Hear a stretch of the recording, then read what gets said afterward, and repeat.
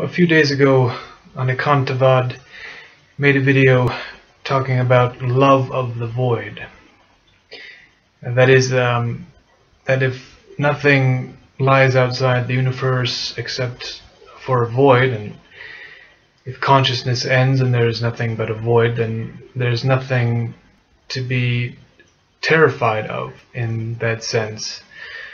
Um, and to a certain extent I agree with him um, I wanted to talk about the void in terms of our life here, um, and not so much in the metaphysical definition, in terms of man, society, and value. Um, if we can talk about society as arising from primordial concerns. That is concerns that have to do with life and the propagation of life. Um, securing and maintaining those concerns safe, of course, through cooperation, etc. Um, and we take those first concerns as the only real concerns of society and of man and from there to look at uh, society as it has progressed technologically, we see the value of those primordial concerns shift from something concrete to something abstract, moving farther and farther away from brute facts of life, of existence so that technological advancement itself becomes a value.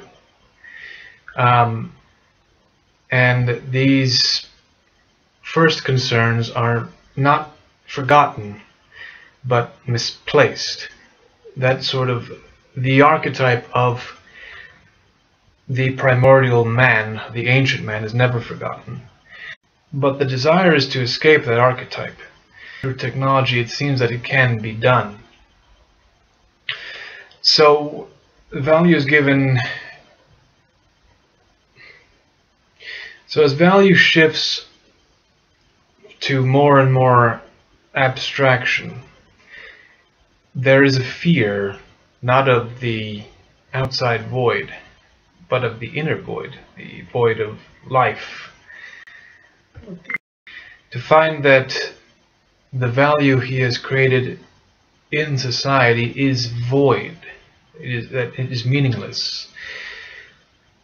And that it is ultimately no progression at all because he has not been able to escape these facts of existence. That's the fact of maintaining life and propagating life. He has been able to keep nature at bay at a certain distance, but he cannot escape certain facts of his own existence.